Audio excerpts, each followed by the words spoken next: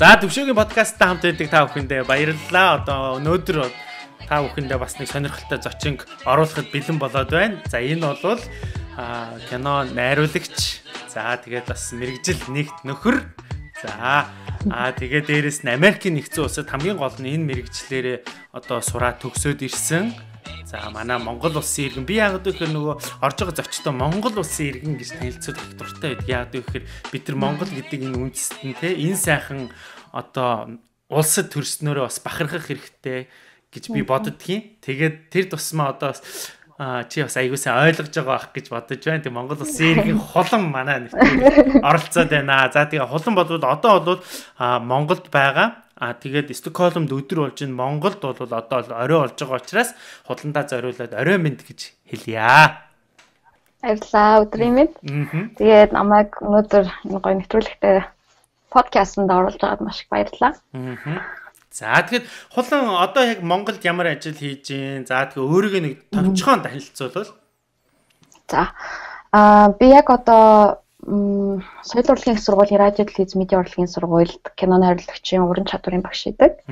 Аа тэрний хажуугаар бас яг чөлөө дуран бүтээлч фрилансер гэж ярьдаг шиг бас хийж байгаа. Тэгээд нэг олоосын продакшнд яг Монгол кино зураг авах гэж байгаа. Тийм яг олоосын продакшнд туслах найруулагч хийж байгаа. Аа за.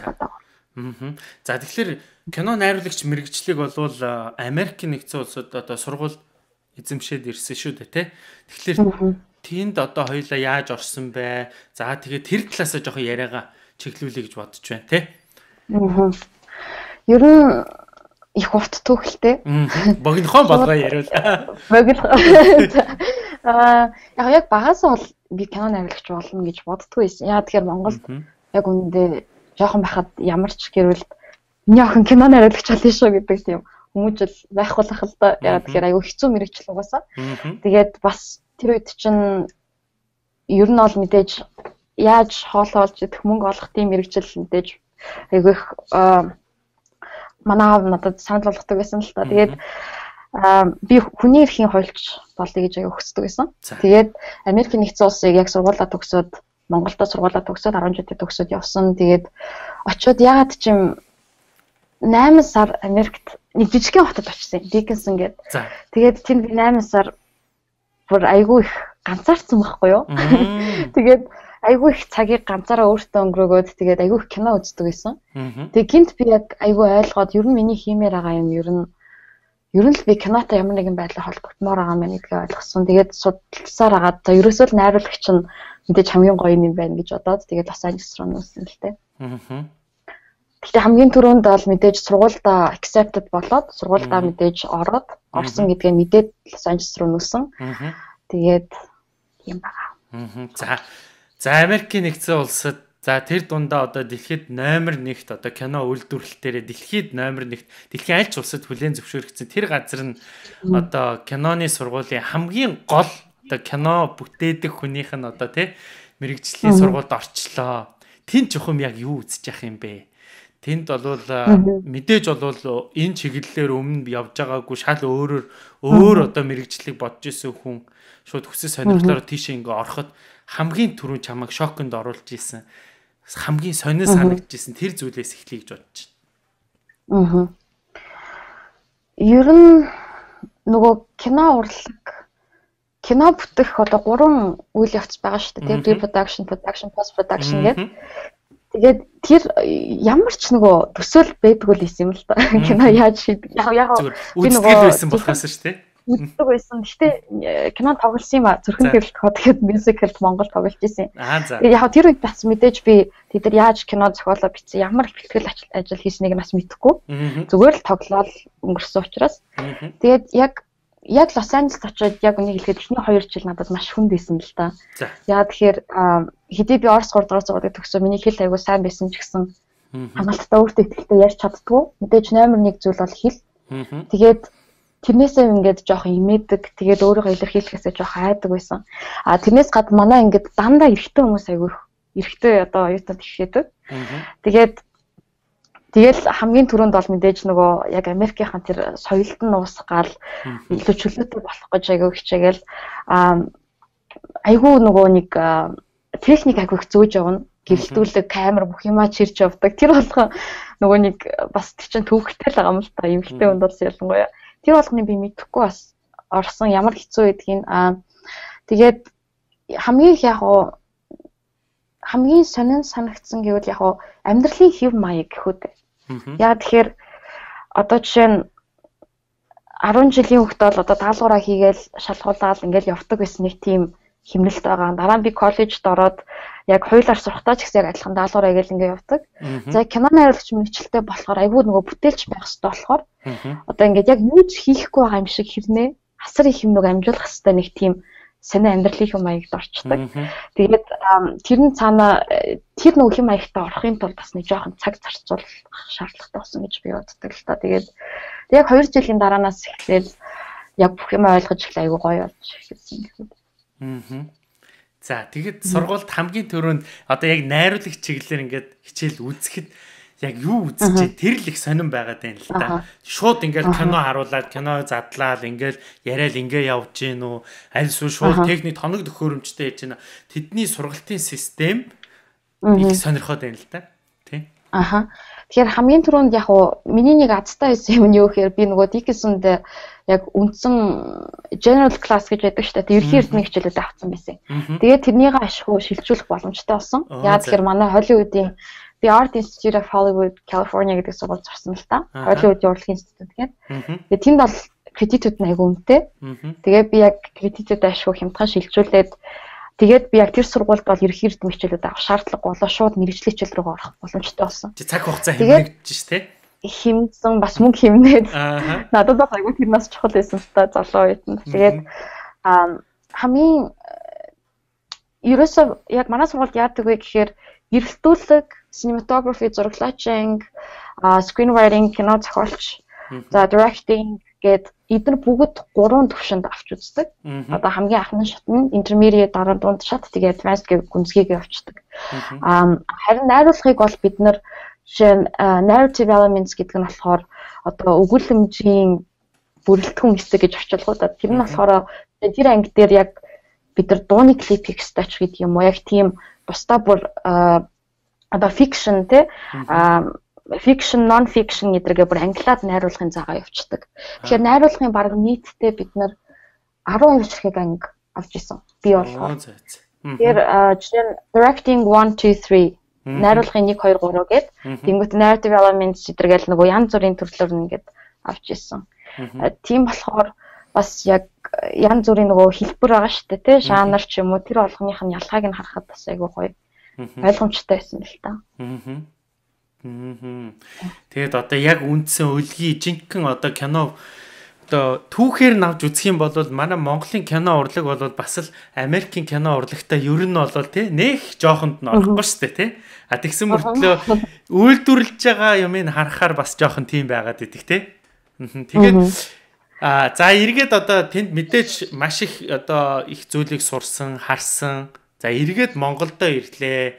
А бас Монголынхон кино урлагийн төвшинг харлаа. Өмнө нь Монголынхон киног үздэг байсан бүсгүй одоо сурс сурсан юмээ одоо Америкт сурчаад эргээгээд Монгол киногоо үзэхэд юу бодогдож байна?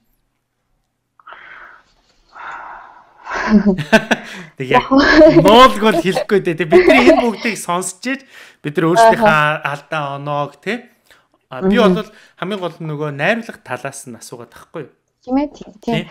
Аа би яг багасаа би гадаад кино үзэж өссөн л тоо. Та мэдж байгаа яг манай найзууд бүгд бидний яг хүрээлэл гэж байгаад байгаа нэг generation гэдээ байгаад байгаа яг гадаад кино үзэж өссөн.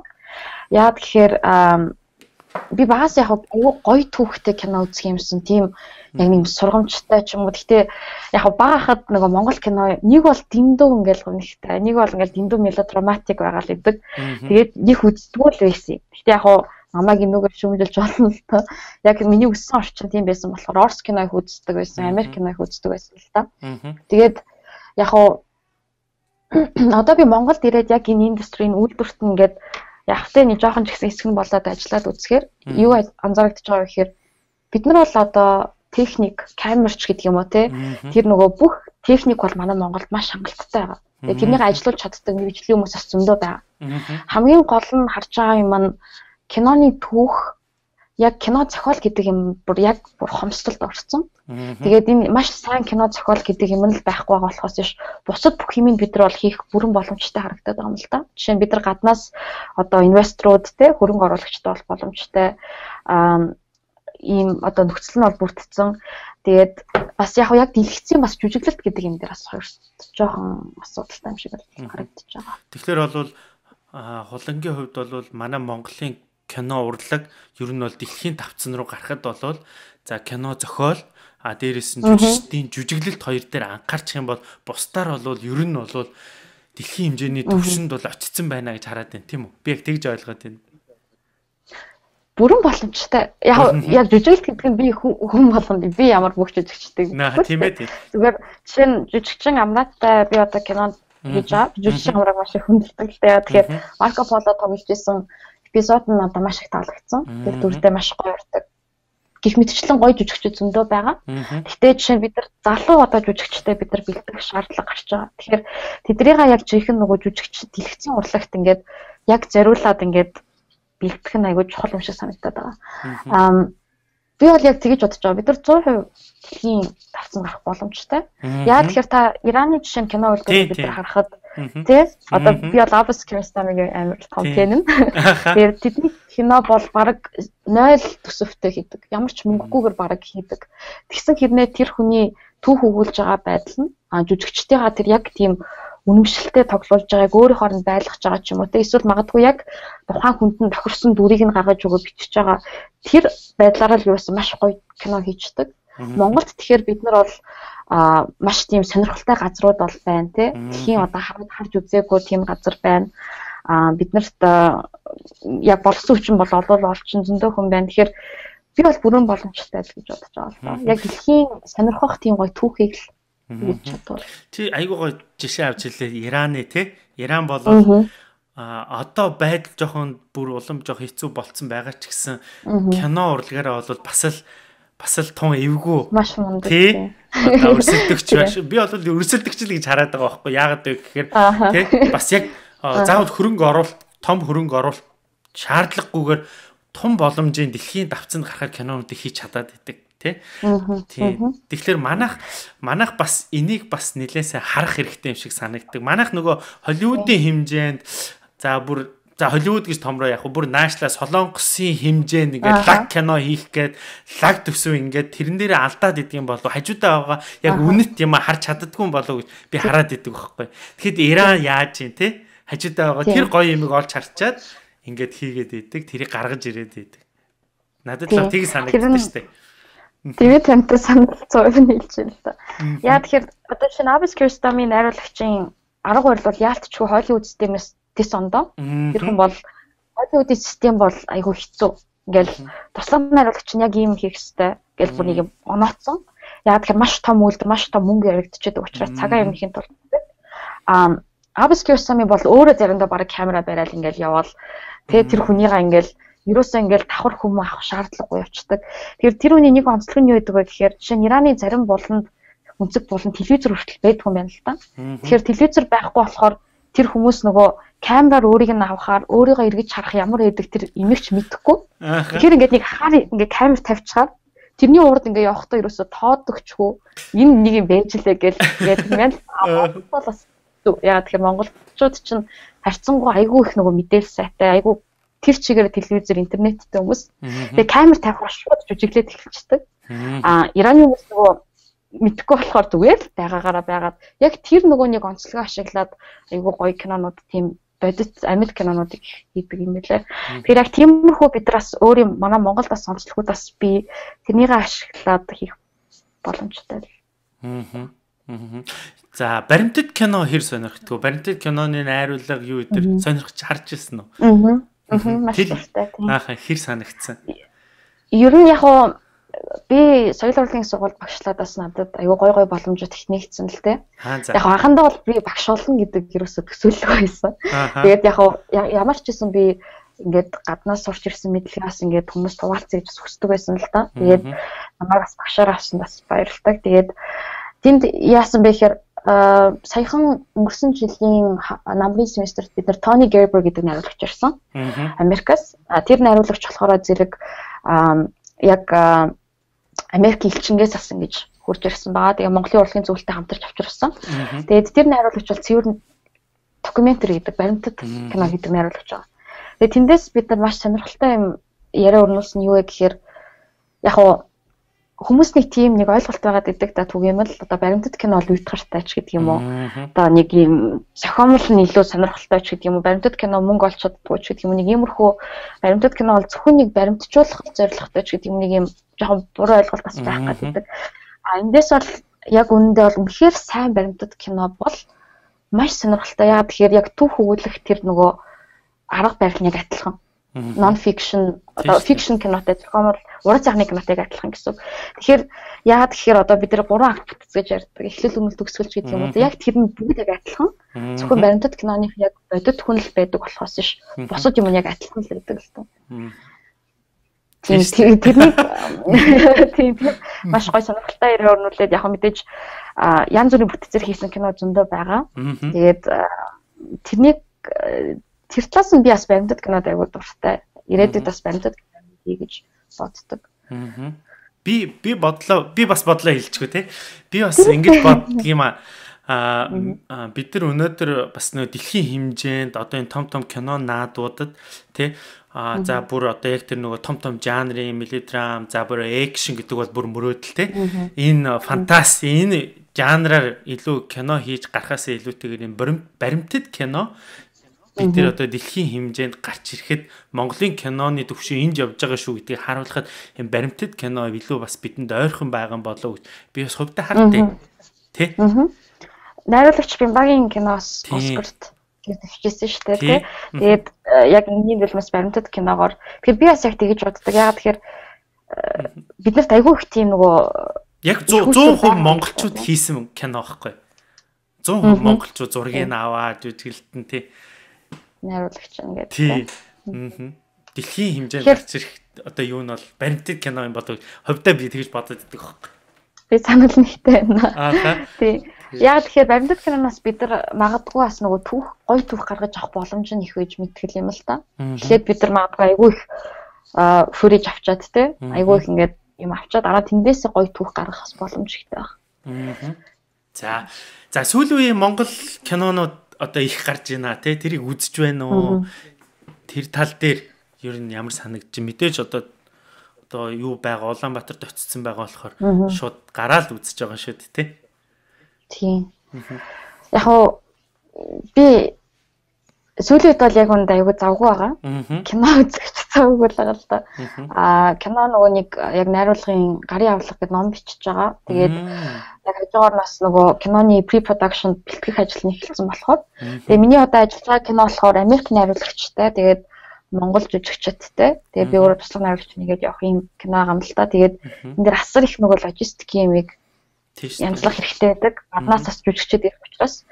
Тэгэхээр би чөлөө цагаараа яг үндэ бараг чөлөө цаг байхгүй болсон. Гэтэ сүүлд бол яг уу би зүрхний хилэн кино үзсэн байгаа. Солиод ихийг үзмээр байгаа. Гэтэ үзэж амжихгүй яваад байгаа. За. За хоёлаа Монголынхаа киноны юунд ингээ ярихад бас нэг иймэрхүү байна тий.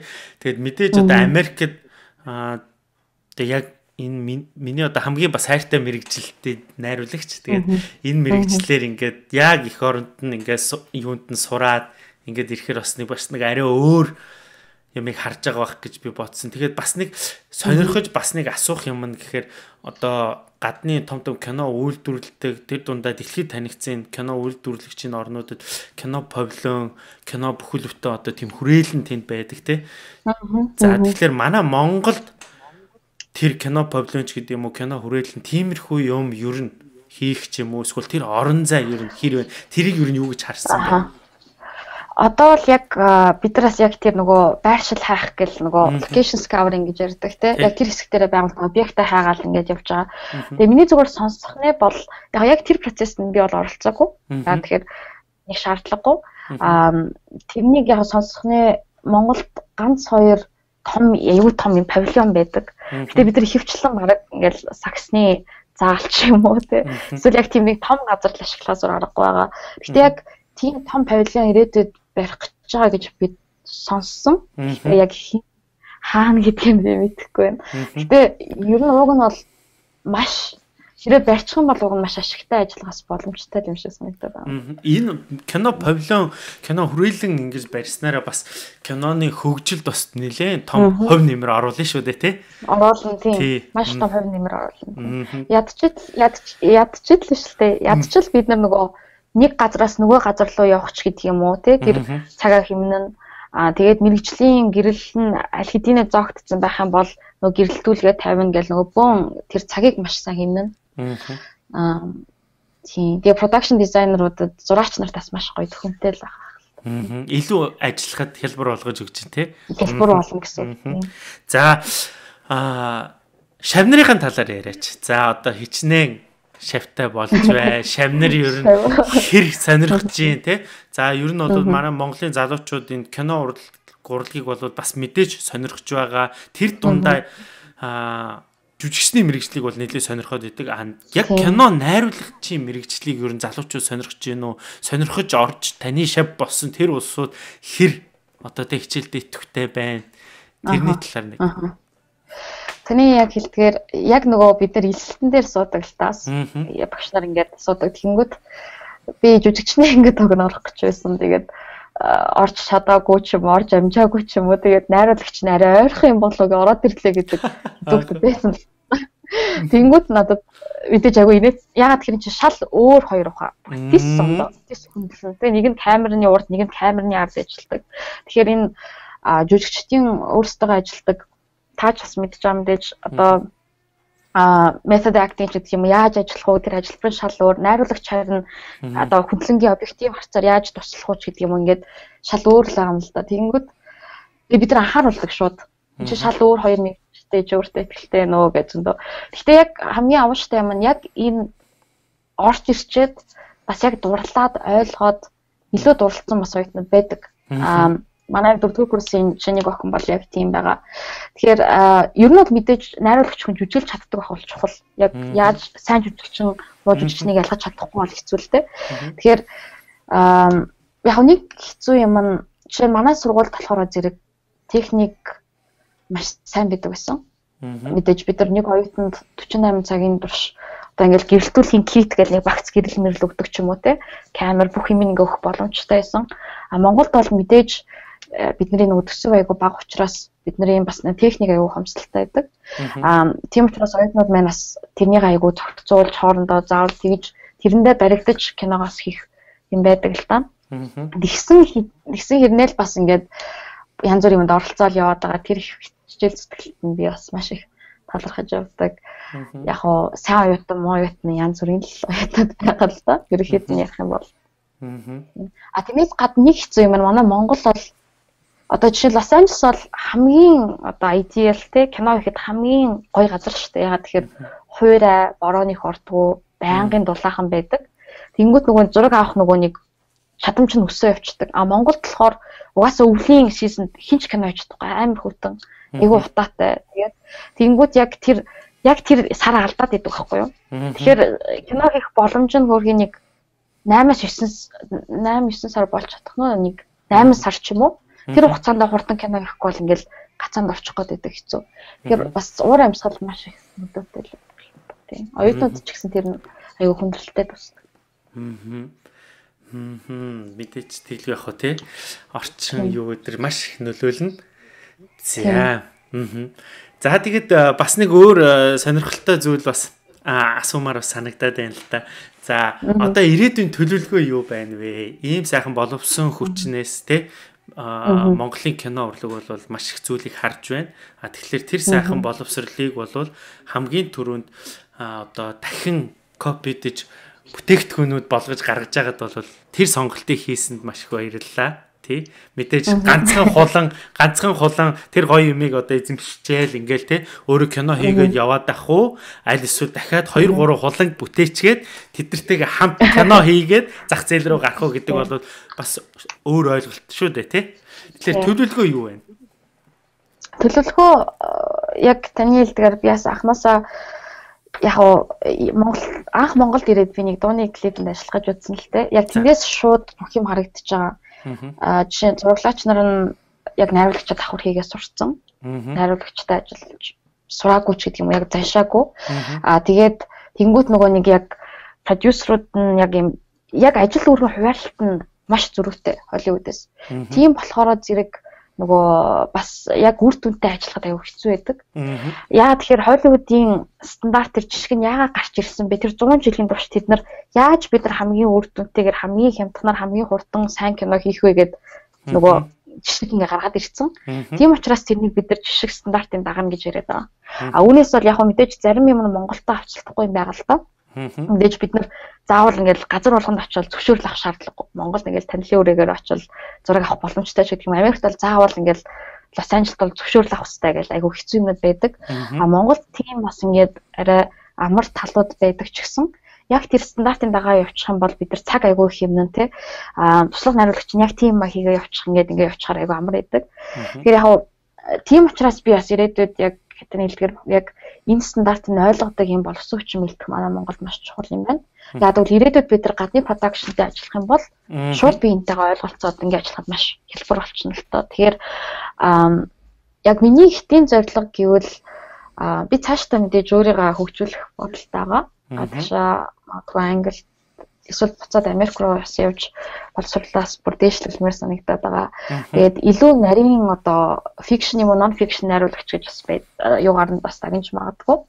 Тэгээд Тэрнээс гадна одоо хоёр ч кино зохиолын санаа байгаа л да. Тэгээд гэтээ яг одоо миний харж байгаагаар яг Монголд бол мэдээж яг тодорхой хэдэн кино мэдээж комеди жанрын ч юм уу те яг ийм эсвэл одоо ийм айгуу драм ч юм уу тиймэрхүү кинонууд илүү эрэлттэй байдаг л да. Монгол үзэгчдэд. Тэгэхээр яг уу миний бас кинон зохиол арай яг тэрнийг маркетт нь яг тохирохгүй ч юм шиг харагдаад байгаа юм байна. Гэхдээ ирээдүйд бол би яг нөгөө фестивалуудад явуулах бүтээл чиглэлээс илүү харж кино хийх хэрэгтэй л дээ. Яг тэр нь ч бас миний өөрийн хийх арга барил кинонууд философитой ч гэсэн илүү нийцдэг гэх үү. Аа. За. Тэр ирээдүйд киногоо бол хийнэ гэж бод. Аа. Мэдээж гар би. Одоо яг дагж тэ. Аа. Тийм. За, бас нэг түрүүн ярианы ихэнд нэг хальтхын яриад өнгөрсөн ном бичиж байгаа гэх тээ. Тийм. Тий, тэр номныхаа талаар яриач. Тэр ном бас сонирхолтой санагдчих. Тийм, тэр ном болохоор ерөөсөө тэрний магадгүй ихэнх хувь нь бол яг орчуулга байх юм. За. Яг одоо жишээ нь Холливуудын кино Яа тэгэхээр би Монголд яг хараад байгаа кино зохиол бид нарт аягүй хомсог учраас ялангуяа кино зохиол найруулга гэдэг юмд дагнаад гарын авлага хийсэн маш зүйтэй юм байна гэж хараад байгаа л да. Яг л кино найруулгын гарын авлага Монголд аягүй ховор бараг байдаггүй. Аа байдаг гэсэн бол би бас оюутнуудад уншуулад ингээд даал хөрөх байсан. Одоо би яг Америкаас ирээ юу харсан бэ гэхээр оюутнууд уншуулах материал авахгүй. Тэгээ би яг бүгдийг өөрөө орчуулад ингээд конспект бэлдэж хичээл ордог. Тэгээд эндээс бас манай сургуулийн захирлаас хараад чи ерөөс энүүгээр ингээд эмгэгтгэхэд ном хийгээд а тэнд бол мэдээж би бас өөрийнхөө туршлагаасаас кино үйлдвэрийн туршлагаасаа хуваалцсан. Тэрнээс гадна янз бүрийн ингээд нөгөө найруулагчдын ингээд э, сургаалч гэдэг юм уу те тэдрээс ингээд оруулсан арга техникүүд юм байх юм. Аа тэр ном бол нэг сонирхолтой юм нь кино зохиолыг ингээд бид нар задлаад үзэхээр маш хэцүү. Одоо ямар ч утга зохиолын бүтээлтлээс шал ондоо Жишээ нь романч гэдэг юм өгөл хэр шал ондоо бичигдсэн байдаг. Та тэний маш сайн мэдж байгаа өөрөө солонгос сурч ирсэн юм. Тэгэхээр тийм болохоор э, юу гэдэг гэхээр одоо ингээд оюутнууд багш би энэ өгүүлгээс ингээд кино зохиолгчмээр байна ч гэдэг юм тэгдэг. Тэнгүүд энэ шал ондоо маш хэцүү гэдгийг ойлгохгүй. Яг тэр өгүүлэг бол хөвчлэн гол дүрийн нөгөө дотоод нөгөө зөрчил ихтэй дотроо эргэцүүлж байгаа юм ихтэй. А тэрнийг чиг яаж камераар харуулах вэ гэдэг нь аюу хэцүү шттэ гэж ойлгох хэрэгтэй ямар камер тархин дээр наваач тавих биш. Тэр айгу тэр болгоныг нөгөө зураг төгс рүү хөрвүүлэх гэдэг нь өөрөө асар том найруулгын ухаан болж байгаа. Аа одоо нэг ойлголтыг 2 3 одоо үйлдэлээр би яаж одоо илэрхийлэх вэ гэдэг. Тэгэхээр энэ болгоныг нөгөө хэлбэрчилсан тийм нөгөө гоё аргачлал байгаа байгаад байгаа юм л да. Чин Роберт Макки а Сидфилд эдэргээд яг Америкийн кино зохиолын одоо мундаг яг кино зохиол бичдэг хүмүүс байдаг. Тэдний яг нөгөө нэг аргачлал бас ер нь оруулж байгаа. Тэр нь бол бас маш их хүмүүст хэрэгтэй тустай байх болов уу гэж найдаж байгаа. Тэгэхээр бас зөвхөн болвол энэ болвол сурж байгаа оюутнууд гэлтгүү яг энэ чиглэлээр уран бүтээл хийж байгаа улсуудад тий бас маш шин маш шин том одоо ном болох болов надад хүртэл их сонирхолтой байна л да тий найдаж байгаа. Тий тэгээ тэсэн ядаа хүлээж байгаа шүү. Номоо бас хурдан гаргаарай тий тий за тэгээд за танаа бас гэр бүлийн хүн бол бас жүжигчин бас манай хүний нэвтрүүлгээр бас ороо гарсан тий тий тэгэхээр жүжигчний мэрэгчлэр тэнд боловсрал эзэмших за тэнд бас найруулагчийн чиглэлээр боловсрал эзэмших ялгаа бол тэнд бол нэлээд байгаа штэ. Тий. Тий, тэгэхээр хоёр бас ингээл хоорондоо бас ингээл мэдээж бол ярьдаг байх л да тий. Ийм тийм ингээл тэр ярьдаг тэр жоохон юмнуудээс нэг хуваалцаач. Яг ялгаа нь юу байгаа хичээлүүд нь хичээлүүд нь юу үзээд байна уу тий, юу тэнд заагаад байна уу. Яг одоо манай сургууль жишээ нь яг цэвэр дижитал нэг ганц миний харуулсмаар юм юу гэдэг вэ гэхээр бид нар яг цэвэр дижиталаар сурсан бүх юмыг. Аа за. Хальсаар бид нар юусоо бичих боломжгүй байсан юм. Аа тэрэнд би тэр хальсны тэрний гоё мэдрэмж өгдөг шүү дээ. Хальсаар бичих тэр нэг романтик идея гэж ярьдаг шиг. Тэрэнд тэрнийг бол яг бичих харин практикта айгу гоё үзнэ гэж найддаг. За яг тэр тэнийг яга яриад байгаа юм гэхээр манай сургуульд бол жүжигчний анги гэж тусдаа байгаагүй. Яг цэвэр юм урлагийн нөгөө камерны ард ажилладаг хүмүүсээр байсан. Жүжигчний мэрэгжлийн нэг онцлог нь юу вэ гэхээр яг UCLA ч юм уу USC зэрэгэд одоо улсын сургууль State University-нуудад болохоор яг жүжигчний 4 жилийн бакалавр авдаг сургалтын тийм ангимаг байдаг л та. А тэгвэл Холливуудын өөрийнх нь яг тэр соёл нь юу вэ гэхээр Холливуд чинь ингээ янз бүрийн өнцөг болноос ингээд жүжигчин болох сонирхолтой хүн ирж байгаа. Ямар сандаа дэлхийн өнцөг болон бүрээс тий. Өнцөг болон бүрээс тий. Тэнгүүт ингээд ингэж хашгиндаг байхгүй юу? Ерөөсөө ингээд Starbucks-д ороод хэрвээ чи над миний кино тоглох хүн байна уу гэж асуух юм бол хүн болгоо headshot-уудаа ингээ өргөнөө гэж байгаа. Headshot гэдэг нь болохоор нөгөө өөрийнхөө зурган байдаг. Бэлэн байж байдаг тий. Бэлэн байж байдаг. Тэгээ одоо хинтээ таарлах юм. Яа тэгэхээр Лос Анжелес бол гурван хүний нэг нь заавал кино үйлдвэрт ажилладаг хүн байдаг гэж тооцоо байдаг юм л да. Тэгэхээр маш ерөөсөл тэр том кино үйлдвэр байгаа юм л та. Хотын тэр чигээрээ. Тэгэхээр юу гэх нэхэр манай найз залуу болохоор битээр арай суугаагүй. Манай найз залуу болохоор зэрэг аа яг тийм бакалавр, мастер ч гэдэг юм уу тийм юугаар биш. Яг тэр Лос Анжелесийн тэр соёлоор нь сурж байгаа. Тэр нь юу вэ гэхээр actor studio гэж байдаг. Жүжигчдийн одоо студи гэж байдаг. Жишээ нь Marilyn Brando-г алдартай жүжигчин та мэдэн дээ Godfather тоглолдог. А тэр бол жишээ Lee Strasberg гэдэг одоо method acting аргачлалаар одоо заадаг тийм багшийн actor studiод хамрагддаг байсан юм. Тэр ямар онцлогтой вэ гэхээр зэрэг яг ажилтдаг хажуугаар нь өөрийгөө нөгөө өөрийнхөө сул талуудаа ингээ хөгжүүлдэг гэсэн үг. Аа жишээ нь хэрвээ одоо импровизац хийхдээ ч юм уу те тэрэндээ жоохон ингээ гацаад идэг бол тэрнийг нь хөгжүүлэх ч юм уу ингэж явдаг. А үүнээс бол яг нөгөө нэг яг бакалавр авах ч юм уу мастер авах ч юм уу мастерын зэрэг гэсэн юм их байдгүй. Тэгэхээр одоо жишээ нь манай найз бол одоо 2 сар нэг актер студиод явж үзээд дараа нь өөр нэг актер студиод явж үзээд ингээ ингээ явахаар бас янз бүрийн аргачлалуудыг сураад айгу гоё идэг. Яг энэ сургалтыг бас хоёр бас Монголдо оруулж ирэх юмсан гэж маш хүсдэг л те. Тэгээ би найзлуудаас хэлдэг л те. Тэгээд аа тэгээд бас яг сурыг бол бас хүмүүс байх тах гэж бодож байгаа. Би яагаад энийг асуусан бэ гэхлээр мэдээж бол чи найз залуутайгаа тэнд амьдраад хичээлд нь болвол мэдээж хажуучин хичээл хийж байгаа магадгүй чи сургууль дээр нь очоо те яаж хичээл орж байгаа харсан байх. А тэгэхээр одоо чи соёл урлагийн их сургууль багшилж гин. Мэдээж соёл урлагийн их сургуулиас жүжигчд бэлдэж гаргаж байгаа. Тэнд зааж байгаа арга барил танаа найз залуугийн тэнд сурсан арга барил хоёр ялгаа байна уу? Яг л ижилхэн шугамар тэнд заагаад байна уу? Яг жүжигчний мэрэгчлэр. Сайн мэдэхгүй байна. Яа тэгэхээр манайх радио телевиз медиа урлагийн сургууль нь а жүжигийн урлагийн сургууль гэж тустай байдаг. Тэгэхээр маш өөр сургуулиуд болохоор манайд болохоор сэтгүүл зүй, телевизийн найруулга, одоо кино найруулга явцдаг. Жүжигийнх болохоор тустай. Гэхдээ миний би Америк тахтаас яг хамгийн анх 19 дээд яг Лос Анжелест яг очиод нэг нэг жилийн дараа би яг жүжигийн сургалтанд сууж исэн юм. Аа за. Тэр нь болохоор 6 сарын юм сургалтсан.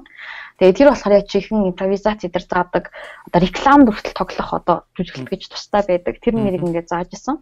Тэгээд тэрнээс хожим хожуу би найзлагтаа танилцсан л та. Тэгээд миний зүгээр яг мэдээж соёл урлагийн сургууль бол яг зэрэг болгодог. Бакалаврын зэрэг.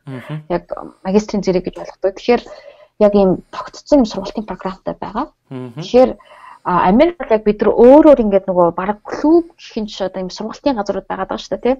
Актер студио өөрөөр студид очиж сурч байгаа учраас янз бүрийн төрлийн ийм арга барилыг сурдаг. Гэтэ яг хуу соёл урлагийн сургуульд бас яг бүгдийг ингээд багцлаа бүгдийг заадаг байх гэж бодож байна. Би тэр талаар сайн мэдэхгүй байна. Аа. Аа. За би бас тэнд бас ялгаа бид нар бас арай өөрөөр сурдсан болов тэр ялгааг харц чадсан болов гэж энийг л мэд гэж асуусан юм л та тий. За тэгээд ааха тэгээд би бас маш их баярлж байна л та. Тэгээд бас а бас найз залуутаагаа ирээд бас Монголынхон жүжигчдэд тэнд сурж исэн тий. Юуг одоо бас ингээ заа гэсэн хүсэл байна гэдэг чинь бас илүү гоё байна л та тий. А тэрнээс биш ингээл зөвхөн өөрөө сурчаал өөрөө л энийг ингээл хадгалаа яваад ивэл тэр шиг муухай байхгүй болов гэж би боддгийн. Тий. Тийм шүү дээ тий. Угаасаа яг хамтдаа л хүчрхчихсэн. Тийм шүү дээ тий. Олуула хүчрэхийг болж ээж өөрийнхөө сурж мэдсэн юмыг олон хүнд заачаад яг өөрийнхөө төвшингийн өрсөлдөгч нарыг бэлтжээд яг тэр зах зээл дээрээ хамтдаа өрсөлдөх юм бол илүү амттай өрсөлдөө гарах юм болов гэж би боддог байхгүй тий. Тийм байгаа. Аа тэгтээ мэдээж э, би бас надад сурах юм маш их байгаа л да. Яа тэгэхээр манай Монгол бол нөгөө Орсын школоор явдаг штэ тий. Яг Орс нөгөө Орс бол өөрөө тэр чигээрээ киноны маш том урлагийг бий болгосон. Одоо шинэ Станиславский болж үжигийн ухааныг үүсгэн байгуулсан хүн. Тэгэхээр угаасаа Станиславскигаас Америкчууд суралцсан. Тэгээд тэндээсээ өөрсдөө хөгжүүлээд дэлгэцийн урлаг гэж хөгжүүлсэн. Тэгэхээр Stella Adler, Lee Strasberg гэдэг бүгд одоо Meisner бүгд болохоор Станиславскигаас суралцсан оюутнууд нэдэг. Тэгэхээр бас би бас тэгж боддог л та мэдээж би бол яг минимализм ч гэдэг юм уу. Яг тэр том ухааны ингээд ийм нарийсгцсан ухааны би сурцсан. Тэгэхээр Монголд бол яг тэр нэг өргөн ухаан яваад байгаа юм шиг харагдсан. Тэгэхээр тиймээс бас надад тийм фундамент нь байгаад байгаа юм л та. Тэрийг нас сурах хүсэлтэй байдаг. Тэгээд одоо яг энэ кинон дээр яг мундаж үржигчтэй бас ажиллаж байгаад бас баяртай байдаг. Дээрээс бас сурцсан ба. За одоо энэ кинон дээр амраахтаа бол бас ингээм хамтраад уран бүтээл хийх гэж юм гаднаас найруулагч иж кино хийх гэж нууц ишвэл тэр уран бүтээлээсээ нэг жоохон задлаад хэлэхгүй юу те. Яг юу болох гээд байна, юу хийх гээд байна те. Энэ бол цэвэр акшн кино. За. Тэгэхээр яг нөгөө Холливуудын яа тэгэхээр энэ яг яг л нэг Америк кино шиг мэдрэмж төрөх ч юм уу нэг тиймэрхүү юм байж магадгүй яа тэгэхээр Америк найруулагчтай Америк зураглаачтай. Аа тэгтээ яг уу маш их нөгөө акшн болохоор ингээл гой гой нөгөө акшн сценүүд байна л да. Тэрэнд нь хамгийн их сэтгэлтэй хөдөлж байгаа. Тэгээ бид нар бүгд тэрнийг одоо зургийг аавна гэдэг нь аягүй гоё. Тэгээд Казахстанаас бас бид нар жүжигчдтэй хамтарч Казахстан жүжигч, Америк жүжигч бас ирж байгаа. Тэгэхээр энэ бол маш тийм олон улсын продакшн байгаа. Тэгээд Монголд бас уран уран гэд ихч маань бас продюсер хийж байгаа. Тэгэхээр энэ бол Энэс өөр би юу хийж хийж болох юм бас мэдэхгүй байна л. Ааха. За тэгэхээр бол бас гадныхантай тэр дундаа бол Холливуудын одоо тэр мундгууттай хамтарсан бас нэг сайхан экшн Монгол экшн кино гарах гэж байгаа юм байна шүү дээ гэж ойлгож байна тий. За за за. Баярлалаа. Та бүхэн ярилцлага одоо 40 гаруй минут болох гэж байна. За тэгээд энэ цаг хугацааг зориулсанд маш их баярлаа. Тэгээд ярих гэж бодож исэн хэрвээ миний асуугаагүй ч гэдэм юм уу те хэлхийнсэн гэдэг зүйл байх юм бол хэлж болно. Сүүлийн хормыг дэндүүлдэж байна. За. Нэг уран бүтээлч хүн чинь өөрийгөө байнга нөгөө сувталж явах хэрэгтэй гэж заадаг л да. Угаасаа өөр өөрийгөө байнга. Тэгэхээр яг хуу би бас нөгөө киноны шүүмж хүчдэг. Аа тэгээд бас өөрөө дуу зохиодог янз бүрийн төрөл одоо уран бүтээл хийж төрөвдөг. Тэгэхээр миний вебсайтаар зочлоод зэрэг гэж хэлмээр байна. joypictures.com гэж байгаа. Аа за. Тийм. Тэгээд яг бас миний боддог юм юу гэхээр манай Монголд бас нөгөө киноны шүүмж гэдэг юм хараахан хөгжөөгүй юм шиг санагддаг. Яг үндэ киноны шүүмж бол маш чухал. Өөрөө киног одоо сайн бүтээл болсноо муу бүтээл болсноо тэрийг одоо шинэ Rotten Tomatoes гэж байдаг шүү дээ тий. Бид нар тэрнийг харж байгаа л энэ киног үзэх үгүй юу одоо үздэг. Tomato Mirror гэдгийг харж агаад хамгийн одоо хамгийн ихний сурталчилгаа гэсэн үг шүү дээ тэр чинь одоо тий. Яг үн тий. Тэгэхээр яг тийм одоо Ebert гэд Roger Ebert гэд мундаг шүүмжлэгч байдаг. Тэр хүний жишээ нь оноо 4-өөс 4 авсан бол тэр кино маш мундаг гэсэн үг гэдэг шиг. Монгол бид нар нөгөө яг кино мэрэгчлийн кино шүүмжлэгч айгу ховор байдаг. Тэгтээ байдаг юм л манай сургуульд бас байдаг багш нараас. Тэгэхээр энийг илүү хөгжүүлээд хөгжүүлэх юмсан гэж байг өгсдөг. Тэгээд би вебсайтн дээр бас кино шүүмж бичдэг. Гэхдээ англи хэл дээр бичдэг болохоор бас жоохон зарим киногоо бас англи хэл дээр бичдэг байгаа. Тэгээд бас сонирхоод үзээрэй. Ирээдүйд бас Монголд тиймэрхүү юм гаргая гэж бас бодож байгаа. Аа. Сэтгүүр гаргая гэж бас хүсдэг. Аа. Маш их төлөвлөгөө байна. Хийх юм бидэнд маш их байна тий. Залуу улсууд бидрэл одоо яг хийж салбар салбартаа хийж ижил хөгжүүлэхгүй бол яг бидний ирүү эхэлж байгаа байхгүй. Би л хөвдөө тэгж бодлоо юм а тий. Аа. Яг үнэ. За за. За баярлалаа. Тэгээд чип дээрийн подкаст бол ингээд нэг удаа хийгээд бол би л хувьдаа энэ бол ярих бас хангалттай биш юм болов уу гэж би л хувьдаа тэгж дүгнэлээ. Чифтэр цаашаа өрчнөө ярих бас подкастын дугаарууд бас байгаа юм байна. Яг дөө гэхээр өөрөөс чинь болвол одоо дахиад ном гарч ирэх нь, дахиад кино гарч ирэх нь, дахиад одоо бас өөр чиглэлийн юмнууд бас нэлээд гарч ирэх нэ. Би тэр болгоныг сонирхож гин. Тэр болгоныг өөрөөр чи яриулмаар байна. А мөн бас миний подкастыг сонсдог яг энэ мэрэгчлэр сонирхож байгаа тэр улсуудад та бидний ярьсан энэ яриа бас нэлээх мэдээлэл мэдлэг өгөх болов гэж бодож байна. Тий. За тэгээ цаг гаргасанд баярлалаа. Дараагийн подкастер хоёлоо.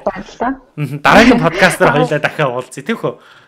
Тэгээ аа тэгээ дараагийн подкастн дээр бас би таны нөгөө солонгос аа сурч эзэмшсэн юм яраас хоёлаа ярилцах болов гэж найдаж байна. Болно болно. Заавал миний подкаст дээр би асуух биш. Аа анхны подкаст учраас тий одоо би төлхөө асуугаад та ярьчлаа шүү дээ. А эргээд дараагийн подкастаар чи надад сонирхсан юм асуугаад тэгээ хоёул хоорондоо энэ киноны талаар бас нэлээ ярилцаад ингэж бас болноо гэж бодож байна. Тэгвэл бас гоё юм.